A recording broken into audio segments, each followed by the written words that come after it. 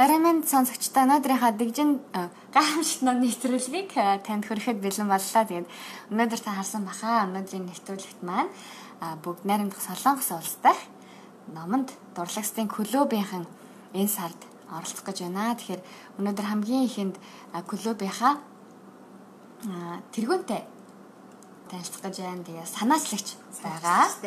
Аха. За. За манай урилга хүлээн авч өнөөдрийн нэвтрүүлгийн маань ихшүүлж 9 сарын салхийг хагалж орж байгаа танд маш баярлалаа. За баярлалаа бүгдэнд нь орой мэнд хүргэе. Намайг Долгорсорон гэдэг намын дурлагчдын клубыг анх үүсгэн байгуулсан, санаачилсан. Тэгээд клуб банусад одоо жил гарan болж байна. Бас өнөөдөр 9 сарын 3-нд хичээлийн шинэ жил дээр давхалцаад бас номынхаа тухай ярих гад ингээд ирсэн сууж байгаа бас маш их баяртай байна. Энэ номын одоо клубыг хідүүлээ санаачлаа яг юун дээрээс яг энэ номын клуб ер нь хий гэсэн санааг сэтлийг олж аваа. Аха. Анх бол аа санаа гаргах шаардлага мөн гэдэг шаардлага хэрэгцээ тулгарсан л да.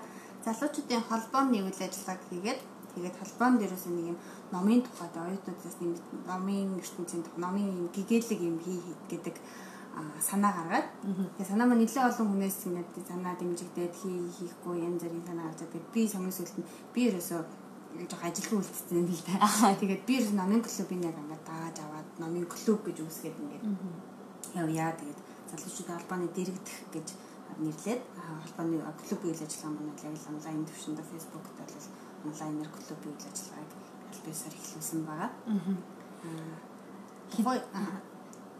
Тухайд болохоор а залуучуудын холбоо гэдэг холбооны гишүүд яасан бол одоо санаач зэрэг санаас яг холбоогоор дамжуулаад нэлийн хүчтэй тантай эхэлсэн байгаа.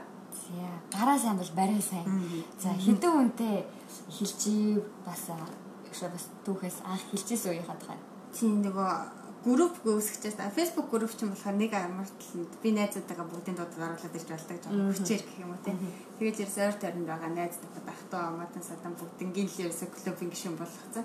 Тэгээд байж байгаад би одоо яг нэрийн цэжээ санддаг. Хамгийн анхны гишүүнийг би одоо над гişүн өөрөө орох хүсэлтэд явуулж байгаа. Группд гişүн болохоор хүсэлт явуулсан нэг хүн байдаг байхгүй. Тэгээ би тэр үнийг бүр ингээд бүр айгу онцгойлоод тухайд скриншот хийж аваад ингээд хадгалсан байт юм биш. Дараа нь ирээ тэр хүн надад тарах ч юм уу ямар нэгэн байдлаар.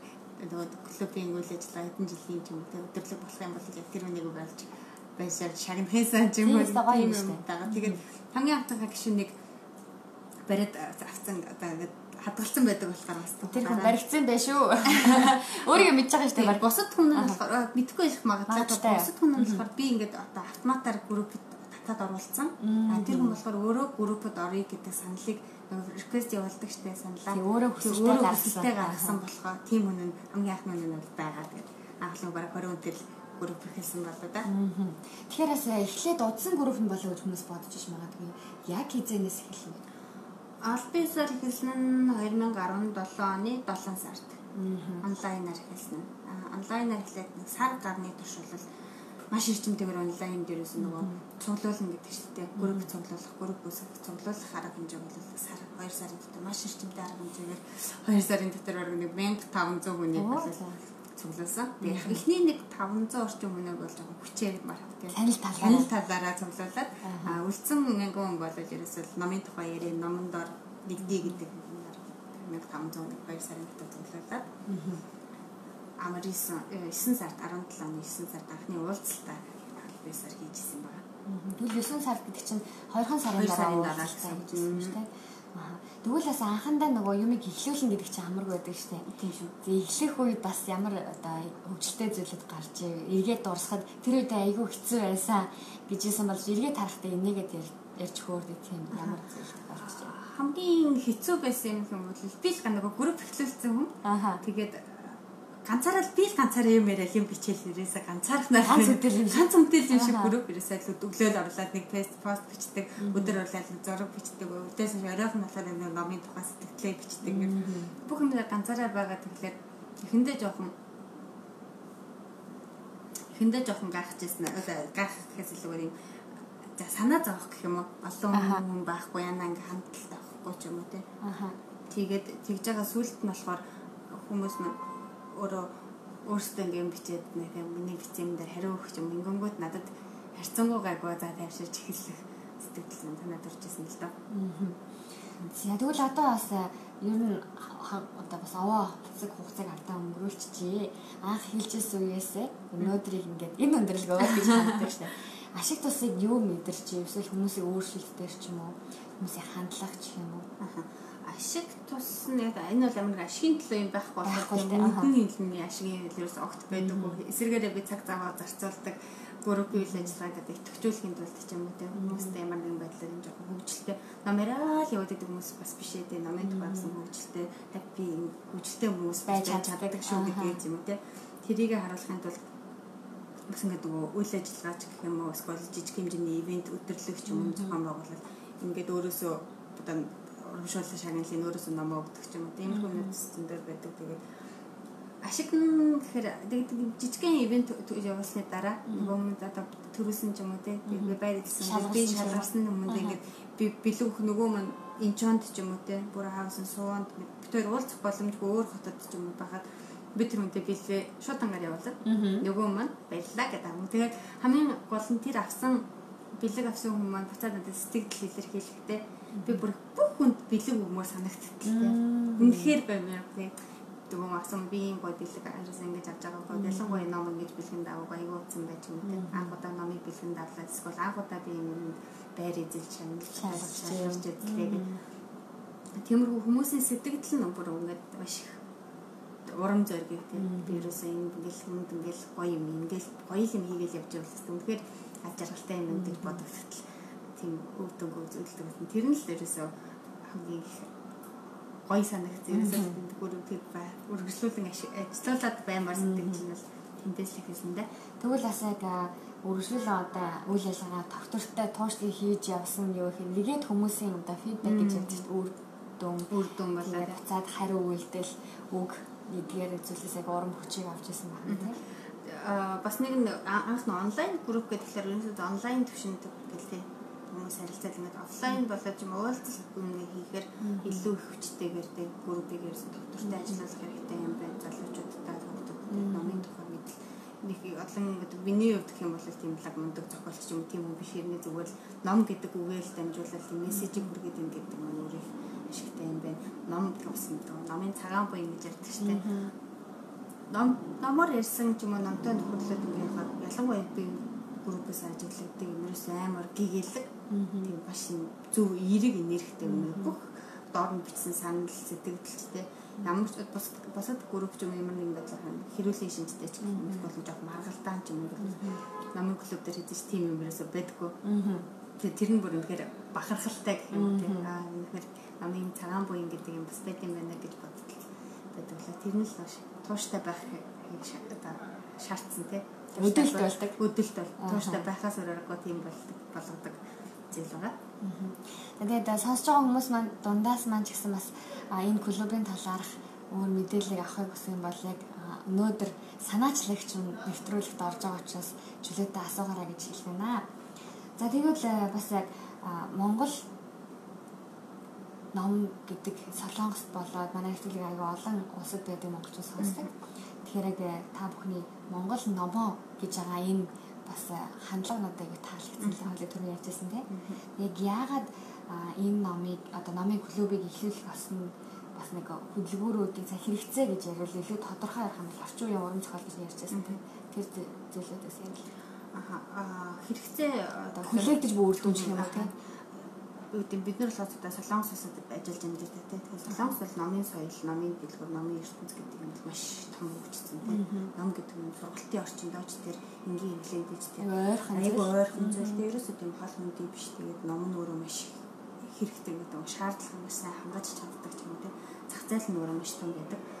Манай хувьд бол яг хав зах зээл сүүлийн ямарцангууд томорж байгаа тийм.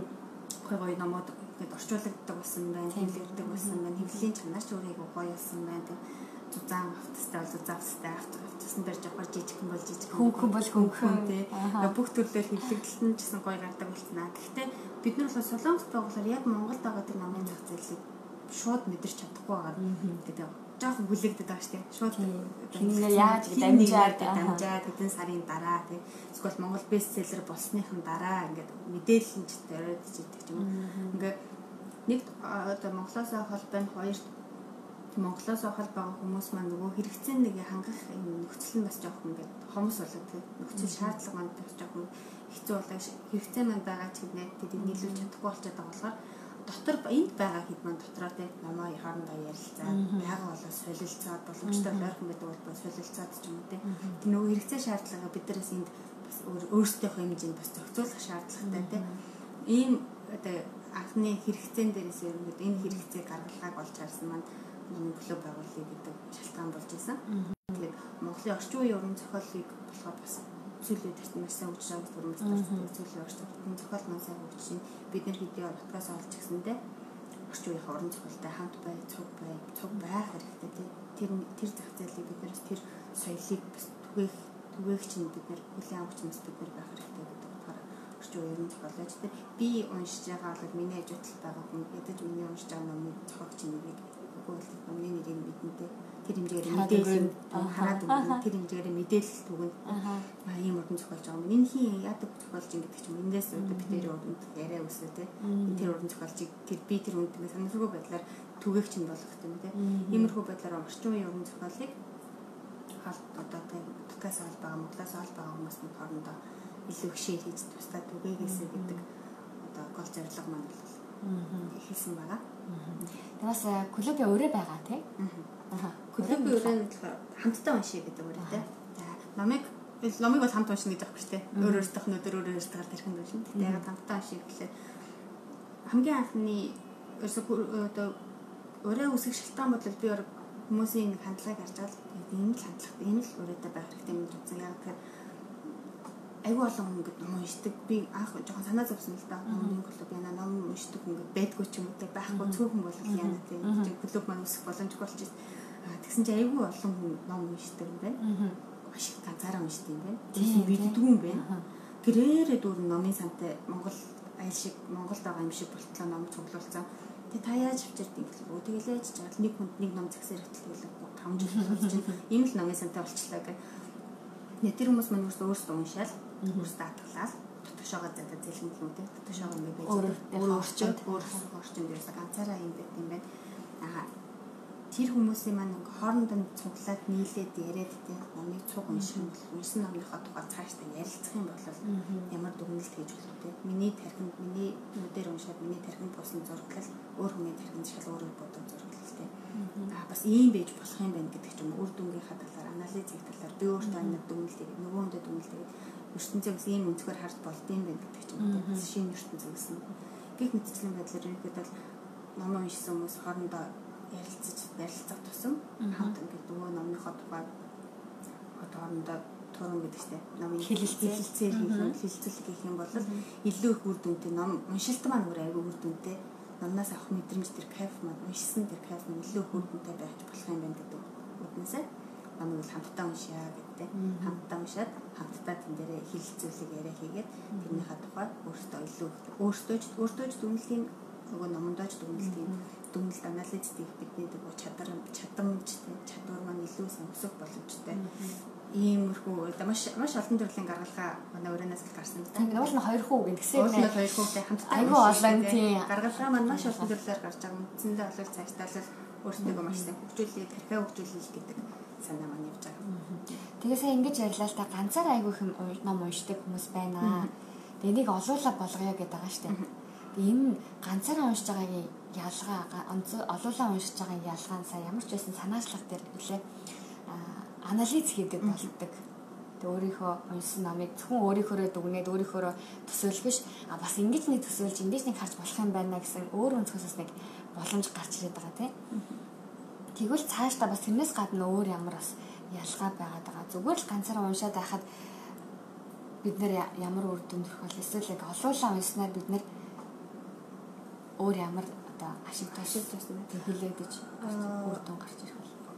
Одоо англиар бол одоо фидбэктэй хоорондоо солилцсон гэдэг байгаа шүү дээ. Има үр дүн бид өөрт гаргацсан надад надад гарсан үр дүн би буцаад өөр хүнд үр дүн гэж танилцуулаад гэж миний орчин нөхцөл гэдэг юм. Миний ертөнцийг харах үзэл ерөөсөө маш том өөрчлөлтийг өөр өөртөө дүнэлтийг улам гүнзгийрүүлж ийн гэсэн үг л дээ. Тэгээд яг хамтдаа уншснараа илүү өргөн мэдээлэлтэй хамгийн илүү өргөн цар хүрээтэй миний орчин нөхцөл миний ертөнцийг харах цонх гэдэг юм илүү томрох боломжийг л хамт тийм нэг тархиа задлах боломжийг өгöd байгаа юм л да. Анализ одоо тийм үр дүнгээ өөртөө гаргасан үр дүнг тийм өөр нэг өнцгөөс бас харж байна. 6-гийн тог дээрээс нарахаар 6 дараа нарахаар 9 таг гардаг тийм.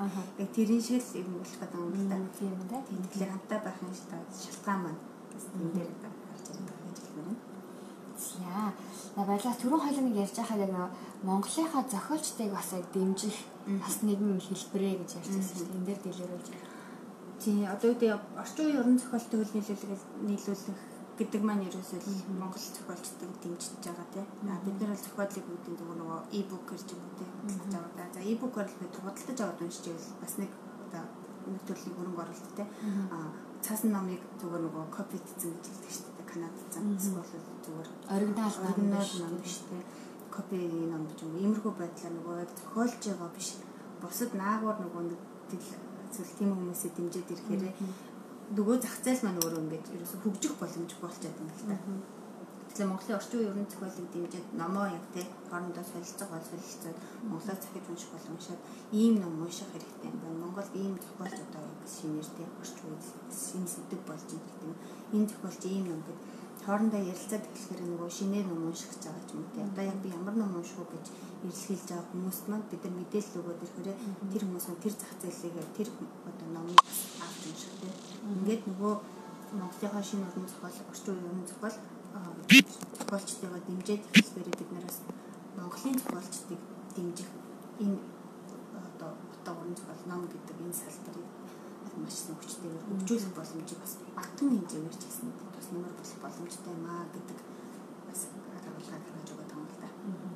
Ямар ч байсан энэ клуб бол байх хэрэгтэй л юм байна. Байх хэрэгтэй. Окей, ойлголоо. Хамтдаа ном уншицгаая. За тэгвэл дараагийн хоёлоо ярих зүйл рүү оръё. Дараа нь сая арга хэмжээний зохион байгуулалт ба зөвхөн офлайн онлайн гэдэг хүмүүс офлайнаар уулзлаа. Ямар ямар уулзалтуудыг хийж бас зорилго нь юу байв? Ямар хүмүүс ирж юу болж тэр уулзалтууд анх 17 оны 7 сард нэг онлайнаар байгуулагдсан маань 2 сарын сарын Instagram 1500 цуглуулад гэсэн чинь. 1500 цуглуулсан чинь 150 хүн ирчих байх гэсэн нэг төсөөл байлаа л да. Тэгээд анхны уулзалтыг бол яг хөө зүгээр клубын гишүүд хоорондоо танилцъя ямар хүмүүс нэг клуб ороод орчод номны тухай юм яриад би нь хинтээ юм ном яриад ном яриад хэлцүүлгийгээ суугаад байгаа юм гэдэг юм а жоохон сонир сонигцсан. Тэр манай бүш ямар хүмүүс энэ клуб дотор би нь хинтээ нийлээд нөхөрлөл нэг номыг яриад ингэ гэдэг маань жоохон ихэндээ ихэндээ нэг анзаарахгүй сүултээ ингээд итгэвтэй хүмүүс маань ингээд ялгараад ирдэг юм байна л дээ. Би ч юм уу даа би наад номыг чинь тэгэж уншсан. Аа энэ номыг чинь ингэж юм байна гэдэг ч юм уу. Ингээ гараад ирэхэд нөгөө хүмүүс их жоохон сонирхож эхэлсэн. Ямар хүмүүс байх вэ? Тэгээд нөгөө дотор нь хүмүүсийн уралдаан зарлаад ингээ төрүүлчлээ төрүүлсэн хүмүүс ингээл ямар хүн байгаа бол гэдэг их сонирх надад бол бүр их байдалтай байдалтай тийм ямар хүн фэйсбүүкийн танаас харах нэг өөр бодтой бодлоод бол царгас шалгуулсан. Тэгээд анхны уулзалт болохоор номоо солилцъя гэдэг сэдвийн дор.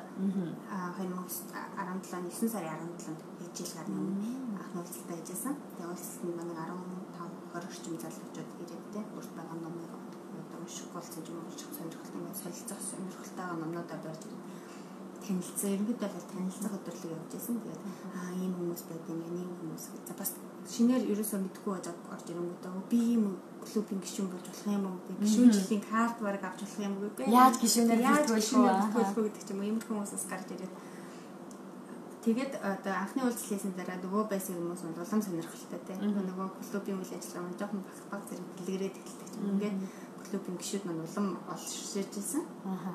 За тэгээд дараагийнхаа болохоор бид нар өнгөрсөн хавар буюу ерөнхийдөө бол тэрнээс хойшоо улиралдаа нэг удаа жилдээ хоёр удаа гэд хавар намартаа нэг нэг удаа өдөрлөг хийж гэж тохиолдолд шийдээд дараагийнхаа өдөр бол болохоор 2018 оны 4 сарын 22-нд болохоор хамтдаа уншия гэдэг уриалгамдаараа ерөөдөө хамтдаа уншия. Бид тэгээд төхөө үед маань болохоор бас клуб маань үйл ажиллагаа нэлээд өргөжчихсэн.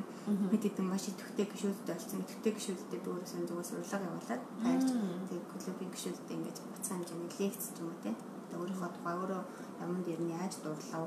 Хүүхдүүдийн номонд яаж дурлуулах вэ гэхсэх бол намын тэмдэглэл хэрхэн хөтлөх вэ? Би Монголоос намайг яаж сонгож уншдаг вэ гэх өөр тохиолдсон бодит явдал дээрээс тийм тулгуурлаад Нийтлэг туршлагаас аваалцаад ерөнхийдөө бол тийм дөрвөн хүн ирээд өөртөөхөө тухай номын тухай тийм ингээд бяцхан хэмжээний лекц уншаад чөлөөт яриа өрнүүлээд тэгээд ерөнхийдөө үйл ажиллагаа нь тэгээд бас авчирч нэг хуучин намаа зарах ажиллагаа давхар гэсэн. Тэгэхээр хуучин нам зарахтай хүмүүс маш сонирхолтой энэ тухайд 50-д 60-аад нам цуглараад 60 намыг тэр сүрэн дээр хадгалсан. Оо тийм үү. Тэгээд маш сонирхолтой санагдаад яна хүмүүс нам авчирдаг зарагдахгүй ч юм уу гэмээр буцаад аваад яв гэдэг хаавсан холоос намаа тэрч ирэл буцаад үрээд явна гэх яах болоо гэж хэлсэн чинь бүрсөө цөлөлцөл бараг солилцол дуусаад нэг шүлээгөө бүр нэг шүлээгүүгээр дууссан. Тэгээ маш тэр нь бол маш хэрэгцээ болсон хэр их байна тийм залуусын шаардлага хэр их байд юм байна гэдгийг мэдэрчээсэн. Хоёрт а өдөрлөг дуусгаад ингээд заагаад ингээд бидний зохиолсон үйл ажиллагаа дуслаа. Ирсэн танд баярлалаа гэсэн хүмүүс маань явдаггүй. Суугаад идэг. Суугаад идэг. Гэтэл энэ хөдөө нөгөө чөлөөт яриа маань болохоор нөгөө илтгэгч нар юмаа ярьсны дараа илтгэгч нараас асуулт асуух юм өөрхөө бодлоор өрнцөө хоорондоо ерөөсөө ярихгүйсэн чинь хүмүүс маань хоорондоо танилцъя. Тэгээд тойрог болоо суулгаж байгаа хоорондоо танилцаа тэ намайг тэр гэдэг би тэндээс ирсэн хамгийн сүүл тийм ном уншиж байгаа. Ингээд ерөнхийдөө чөлөөт яриа өрнөл ингээд аа хүмүүсийн хоорондоо тэ нөхөрлөх би тэгээд тийм хойд бол хамгийн бахархажсэн гол санагдаж байна. Номоор дамжуулсан нөхөрлөлийг үүсгэе гэдэг. Тэр бүгэндээ үг маань ингээд эхлээд бэлчээд бодож ажил болж байсан. Тэгэхээр баяртай байсан. Тэгээд номоор дамжуулсан нөхөрлөлийг бас дэмжиж өгч байгаа даа. Өөртөө ч юм те. Одоо хатаныхаа зүгээс л маш их баяртай байгаа. Ийм уулзалтанд ер нь хэд орчим насны хүмүүс дийлэх юм бэ? Хамгийн бага бас хамгийн настай хүн ямар хүмүүс бэ? Аа нөгөө монголчин л нөгөө монгол сургууль гэж байгаа шүү дээ. Монгол сургууль чинь монголоор хичээл заадаг монгол ингээд хүмүүс байгаа. Тийм. Хамгийн бага маань 13 настай, 4 настай охин иржсэн. Аа хамгийн хөвшөндөө би ахын нэг насыг бол асууж чадаагүй. Хэд орчим гарсан болов уу? 50 нилийн төгсөн болов уу гэж бодож байгаа. Тэгээд аа айгуу сонирхолтой юм байл. Бас сонин гэх юм уу? Төсөөлж чадахгүй шүү дээ. Номын нэр таалах юм төвчлөлтөд тэмцээн хэрэгжсэн чинь нөгөө хамгийн бяцхан оролцогч маань намын нэр таалах гээд нам бодчихлоо. Бид нар таагаалаа да таагаал. Ерөөсөө болдоггүй. Амтны нэх харсан л гин шар өнгөтэй амтны л гардаг. Шар өнгөтэй амтны юу ч болох бүгдийг нүсэн чинь алга тэгтэй хийж илүү нэг тийм нэр намын нэр алга тэгтэй хийж ямар ном байх вэ? Тэгэхээр тэн дотор сууж байгаа хүмүүс алга тэгтэй хийж номыг мэддэггүй. Хөвчлэн миний үеийн залуучууд нэг 20 20 орчим байсан тийм. Тэгээ 13 та 4 та хүүхдийн уншиж байгаа номын талаар бид нар мэдээлэл өгөх байхгүй. Тэг ямар ном баггүй гэсэн та Google-с хагаад үзээрэй шууд гарч ирнэ. Шууд гарч ирж байна. Google-ийн ном зохиолын ном гэдэг. Маш алдартай ном юм шиг байна. Монгол бодлол те. Тэгээд бид нар л урагт уншдаггүй. Бид нар бас орчин үеэс цаг үеэс ингэж тасарж ийн гэдгээс айгуу жоох ойлгосон л да. Аа би хүүхдийн номыг Монгол хэрвээ би Монголд байсан бол номын зурагтаа бас ийм ном байт юм байна гэж харчих боломжтой байсан шүү дээ. Тэдийг харж чадахгүй энэ цудаан гэсэн байгаа ба зах зээл нийгмээсээ бас хөндөрж байгаа юм байна гэдэг. Харамсах сэтгэл аа бас өөрийгөө бол их л ойрхон байдаг гэж бодож исэн чинь хүн байна гэдгийг бас их айгу мэдэрсэн. Аа хамгийн одоо настай ахын хувьд болохоор нэг бол ном бичсэн болохоор ярианы ингээд нөгөө өнгө гэж яддаг штеп. Ярианы үгийн сонголт гэдэг юм угаасаа шал 10 хэдэн жил бичсэн тийм 10 хэдэн жил хүмүүс ингээд хэл амаа төвдөр дээл монголоор үгээ хэл гээл ядаа зүгэл зүгэл амнаас нь солонгос хүн төрүүлж гарч байгаа. Ингээд байдаг гэсэн бол тэр ах бол ерөөсөө хаш өрөмцдөг гэдэг маш гоёор ярьдаг. Аа намтай ойр байхын шалтгаан. Яагаад би намтай ойр монгол намтай ойр байх хэрэгтэй вэ гэдэг. Тэр хүнээс баг тийм суралцмаар мэдрэмж төрж ирсэн бол аа маш бахархалтай бас гоё байсан. Тэгээ манай оролцогчдод дөнгөлөгийн гişүүдийн хувьд бол онлайнаар явуулдаг болохоор гişүүдийн насны хязгаарлалт гэж юусоо байхгүй. Онлайн уулзалтын дээр ч гэсэн ямар насны хязгаарлалт байдгүй гэдэг бүгд ирээд эрэхтэй эмэгтэй хүүхэд оюутан тийм хараар ажилтдаг гин ажиллаж оюутан оюутан ингээд бүх хүмүүс маань насны хязгааргаар оролцдог бас сонирхолтой гоё байдаг. За сонирхолтой юм. Одоо тэгвэл дараагийн уулзалт нотгоо болох гэж байгаа сонссон одоо бол намламжлалсаар намрын уулзалтыг хийх гэж байна. Намар олжээ. Намар олжээ. Оюутнуудаа хичээлдээ орцгоё гэдэг. Аа намрын уулзалт нь 9 сарын 18 оны 9 сарын 15-нд Төндөөмөн глобал төв дээр уламжлалсаар хийхээр одоо болсон байна. Энэ удаагийн уулзалт нь болохоор уулзалтын өрөө мөн номоо нэцгээ Намаа нэцгээ гэдэг шалтгаан нь ерөнхийдөө намар одоо хичээл эхэлсэн байна. Оюутан залуус маань номоо нээж хичээлдээ оръё. Аа нөгөө талаараа номоо нэцэг гэдэг уриалга болохоор номыг одоо өөрт уншсан номоо бусдад хуваалцсан тий. Би ямар нэгэн ном уншсан номыг энийг бүгдээр би залуучууд захиж хэлмээр юм. Би номыг л нэг уншаад үзээрэй гэдэг тийм номтой юм байгаа. Одоо хин нэгэнд бол ном уншсан бүгдэнд нь нэг нэг шиг болол дорж байгаа. За зарим хүмүүс бол бүр нэлээд хэдийг барьж ирэх бол би бодож байна. Тэгээд номоо нэцгээ open open mic тий. Микрофон чөлөөтэй өөрөд байгаа уншсан номоо бусдад санал болгох номоо авчираад номоо хүмүүс санал болгоо. Яагаад энэ номыг унших болсон шалтгаан надад өөрт төрсэн сэтгэлдээ бас би энэ номыг уншсан чинь надад ийм сэтгэл төрсэн, ийм өөрчлөлт гарсан юм уу эсвэл ийм байгаа болохоор та бүхэн ч гэсэн нэг удаа уншаад үзээрэй. Ийм номон дээр ийм юм гард юм а гэдэг. Ингээд номоо хүмүүс танилцуулаад тэр номыг хүмүүс санал болгох. Нөгөө талаараа бас тийм одоо ямар ном унших уу би ер нь ном ингээд унших сонгож уншихтай. Одоо яг ном уншдаг болмоор байна. Уншдаг болмоор байна. Унших гэсэн чинь яг ямар номыг унших авчиг нь ойлгохгүй. Зохиолын ном уншаад авах уу? Түүхийн ном уншаад авах уу? Эсвэл чуу философи ном уншаад авах уу? Ингээд хүмүүс нь жоохон эдэрсэн гэдэг шүү дээ. Тийм үед бол яг хүмүүс ингээд ном санал болгож байгаа шалтгааны сонсгоор аа би яг ийм чинь надад яг ийм юм тарах юм гэдэг. Тийм хүмүүс бас ирээд хоёр талаар хүмүүс нь хоорондоо танилцаад хоорондоо санал болгож уулзаасай. Тэр номхоо сэтгэлийн хоорондоо ярилцаад. Тэгээд номоор дамжуулсан нөгөө би нөгөө л номоор дамжуулсан нөхөрлөлийг бол дэмжиж өгмөр байгаа тийм. Номоор дамжуулсан нөхөрлөл маань яг хөө ингээд онлайн онлайн клуб гэж офлайн уулзалт басны дараа клуб үйлчлэл амар их хэмжигдэлтэй. Тэгээ ингээд нөгөө нэг биеэр уулзсан ингээд царайгийн нараад уулзсан хүмүүс чинь фэйсбүүкээр харилцаад шинэ аль чи тийм ном уншиж байна би ингэсэн дээ гэдэг. Ярих ч гэсэн хүртэл айгүй чөлөөтэй танил танил болсон чөлөөтэй болсон тийм. Ядаж би биднээс ном зээлх маань хүртэл айгүй ойрхон болсон байдаг болохоор ямар дамжсан нөхөрлөлийг бас дэмжиж уулзсан бас маргаа ирээрээ гэж бас өрмөр байна. За тэгэхээр дахиад хэлж өгье. 2018 оны 9 сарын 15-нд Түндэрмөн глобал төв хэн давхтдаг лээ? 7 давхар. 7 давхарт нь 14 цагаас. 14 цагаас өнөөдөр. Өнөөдөр гинэ хамтдаа хагасаа өдөр уулзраа. За тэгэхээр бас энд ирээд магадгүй зүгээр яг заавал ирсэн болгон одоо микрофоноор ярих ёстой биш учраас зүгээр гоё номын тухай сонсъё, номын клубийн ямар хүмүүс байдгийг гоё номын номоор дамжуулаад гоё нөхөрлөлд нь орё найз нөхөдтэй бол гэж юмс нээлттэй байх нь шүү дээ. Зүйл байх уу? өөр асуух юм уу сонирхолтой мэдээллийг авахыг хүсэн эсвэл яг нэг клубыг бас мэддэггүй хүмүүс маань сонсож байгаа ч магадгүй те.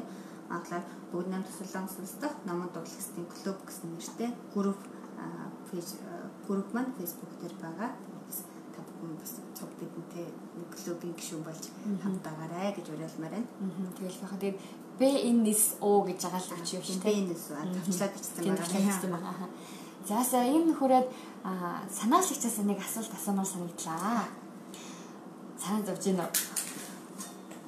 За юу вэ гэхээр амьдрал мэдээж амьдрал нэг өөрчлөлт авчирсан олон номнууд байгаа байх. А тэр дундаас энэ ном үнэхээр миний амьдралд их нөлөөлсөн. Би яг энэ номоор дамжуулаад одоо ертөнцийг харах үзэл маань өөрчлөгдсөн эсвэл амьдралын хэв маяг өөрчлөгдсөн хандлага маань өөрчлөгдсөн ч гэдэг юм уу. Өөр дээр юм өөрчлөлт гарсан намыг нэгийг сонгоол мэдээж олон байгаа хэл да нэгийг сонгоё гэвэл бас юу байхаа. Би яг нөгөө тэгтээ хүмүүс намайг тэр номс энэ номыг хэлж байгаа гайх байх та. Стивен Хокинг гэдэг зохиолчийн зохиолын физикч хүний нөгөө хар нөх ба жижиг ертөнц монголоор бол тийм жижиг ертөнц гэж орчуулсан. Black Hole and Universe гэдэг Baby Universe гэдэг. Тэгээд тэрэн дээр бол ерөөсөө физикийн тухай юм гардаг л да болно. Эрдэмтэн үний юм. Эрдэмтэн физикч үний ном тэр алчтай физикч үний ном. Тэгээ нөгөө физикийн тухай, одон орны тухай, дэлхий яаж үүссэн, их тесрэлтийн үе, хар нөх яаж үүсдэг гэж ерөнхийдөө нэг тийм судалгааны ажлууд гардаг. Томьёотой яриад сансар хөтөргөн тухай юм ярьдаг болсон юм.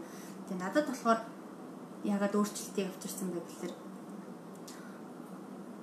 амарын одоо жижиг юм санаа зовхгүйгээр амар тийм том дээрх байгаа галактик тийм амар том том юм бол санаа санаа юм үзэгдлээ те. Миний төсөөлж чадахгүй тийм санаа санаа том юм болж байхад би л нэг жижиг юм яриад ингээд шаналаа сууж ингээд шараа хөлгөө шараа төр хөдлөхгүй ч сууж байгаа да баг юм харамсмар те. Хүн хүн тийм юмны тухай бодоод тэг толгойн ажлыг би арай л жижиг юм дээр арай л санаа зовдөг юм ингээд жоохон том байх те холыг холыг харах, алсын хараатай байх, жоохон том сэтгэгээд гэх юм бол хүмүүс уужрах те. иймэрхүү тэр уужрах сэтгэлдлийг ерөнхийдөө стресс тайвширлыг олгох айгуу том өөрчлөлт болсон л да. Одоо л жижиг юм дээр санаа зовлт юм. За цаан чи нөгөө хар нүх чинь тэгээд ер нь явж байгаа бол гэл ингэ бодох юм бол ерөөсөө одоогийн жижиг шар юм шантарлаад тий ерөөсөө би юм жижиг юм дээр шантарч болохгүй. Энээс тий гариг хүртнээс дээр энээс илүү том өнөчтэй юм болж идэг тий тэрийг хүлээж авах, ойлгож авах мэдрэмжийг төрүүлсэн ном байсан болохоор ерөнхийдөө одоо бол баг стресснээс тайлах, гаргах ганц амар том хүчтэй арга юм тийм. Стрессийг тайлдаг бас нэг арга болсон байх тийм. Тийм том хойд хойд мөсөн төлийн нөгөө мөс хайлаад цагаан нөгөө цагаан бага цагаан бага ингээд амьдрах газаргүй болж ингээд чинь ийм юм бодох юм бол өнөөдөр энэ усан бороод би шалбарт бол явж байгаа бол үнэхээр нийтэд асуудал болж байгаа. Тэрлийн асуудал биш тийм. Цагаан багууд амьдрах газаргүй хүн амтан байж байгаа. Миний шавхад бодлого бол үнэхээр нийтэд болдог юм. Ингээд ертөнцийг харах үзэл маань үзэл маань тий цар хүрээ маань томрохороо хүмүүний сэтгэл ууж болдог. Жижиг шантарлыг юусэн боддгоо болд юм байна. Айгуус ойлгож ирсэн болохоор тэр ном бол миний амьдралд хэдий физик ном гэсэн ч гэсэн тий. Маш тийм сэтгэл зүйн хувьд бол маш том өөрчлөлтийг авч ирсэн ном байж чадсан. Сэтгэл сэтгэлгээгээ чинь өөрчлөлт юм шиг хандах хандах хандлагыг маань задлж өгсөн гэх юм аа. Ямар санаа би асуухад магадгүй одоо сүүлийн агиох нөгөө өөрөө өөрийгөө хөгжүүл хүний үеийн номнууд их гарч ирж байгаа шүү дээ. Тэр дундаас нэг номыг сонгооц ч юм уу хийх бах таа гэж бодчихсон чинь. тэгэхээр бас хүн болны нөгөө ингээд энийг ярилцахаар ингээд ерөөсөө дуустгүй нэг нөхгүй ном ярихаар чи ямар сони ийм номон дээр ингэж бодоод тахтай ингээд ийм яаж ингэ төсөөлж байна? бодож байна чинь гэдэг миний бас ерөөсөө төсөөлж чадахгүй номыг бас нэг хүн яг нэг сонирн байдлаар төсөөлж шал өөр өнцгөөс харж байгаа Инхээр хүний нөгөө хамнымд хандах хандлага ингээд энийг бүр ингээд гоё ярилцмаар байдаг. Тэг ярилцах цуг унших гад хамт унших гад байгаа шалтгаан маань ерөөсөл иймэл юм те. Яаж хүнийг хүн энийг тэг би нөгөө хүний өнцгөөс харах гад бас хичээгээд эхэлдэг байх нь шүү дээ. Энийг сонсож байгаа. Одоо яаж уншсан болохоор хар хар нөх гэдэг номоос ийм юм ус гарч байгаа гэдэг ингээд өөсөө зарим нэг хүмүүс хар нүхийг бүр уншмаар санагддаг ч юм уу тийм. Иймэрхүү байдлаас ном унших юм тийм сонио сонио шал төрөөлтэй аха. Яг сони юм. Тэгэхээр миний ч гэсэн бас яг эргээд асуулт тавьчих бас өөрийгөө бодлоо л да. Тэгэхээр надаас нилээд ном байна. Тэр донд бас жанр явдаг бас янз янз байна. Тэгээд э, сүүлийн үед бас яг ялангуяа нөгөө шинэ зохиолч нар шинэ жанр гаргаж ирж байгаа надад бас тийм итгэл найдар хүлээлттэй хөрүүлж байгаа. Яг ямар юу бичих бол энийг замраа нэг байдлаар нэг хэрэг гарлаа гэх тохиолдолд хэрэгтэй хамааруулаад тэрийг төсөөлүүлээд бичиж байгаа зохиолч маань энийг яг ямар өнцгөөс нь харж ямар үгийн сонголттойгоор ямар орчныг бүрдүүлж байгаад ч юм уу те бичихол гэдэг эргээд сая гоё хүлээлттэй. Тэр нь тэгээ бидний нөгөө яг л стилийн маань аяга задлж өглөөж янз янзын өөрийн гэсэн нөгөө хараагаараа харж өөр хөртөнцийг тэр номоор миний тархиар тархинд буун гэдэг чинь ерөөсө хинээ тийм миний тархинд бууж чадах зураглал гэдэг юм байна. Тэр ярьчихсан шүү дээ. Ноон хөдлөм дээ. Тийм аа нөгөө хэрэгцээтэй хүн бол энэ ном уншаад би өөрийнхөө нүдээр уншаад өөрийнхөө тархинд боловсрол миний тархинд зураглал үүсчихэж байгаа. Тийм аа дөрүүдийн хувьд ч юм аа. Дөрүүдийн хувьд ингээд дүр дүрийг чинь маш тодорхой өгөх юм. Би л тархиндаа буулгаж байгаа шүү дээ. Миний тархинд буусан зураглалыг өөр хинч тэр зураглалыг буулгаж чадахгүй тий. Тэгээд нөгөө зогоонод нь ламын бас нь ламыг зурсан чинь үгүй энэ миний бодсон бас нь лам биш вэ бүүн байна гэдэг баахан маргаан болсон. Тийм тэрэн шиг тэгээд ном гэдэг маань үнэхээр гайхамшигтай би л тархиндаа болгож чадах асуудал. Миний л тархины цар хүрээний тийм хэмжээний зураглалын асуудал болж болохоор маш сонирхолтой. Унших тусмаа тэр хэлнэ. Тэгээд сонсох тусмаа бас гайхаж илүү бас бусдыг бас дээр үед бусдыг бас хүлээн зөвшөөрөх юм уу те. Магадгүй саяны охины нөгөө ярьсан шүү дээ 13 4 настай охин тэр номыг би сайн мэдгүй ч гэсэн тэр хүүхдээр дамжуулаад тэр номыг ярьснаас болоод бид нар дараагийн хойч үеэсээ суралцах юм байгаа юм байна.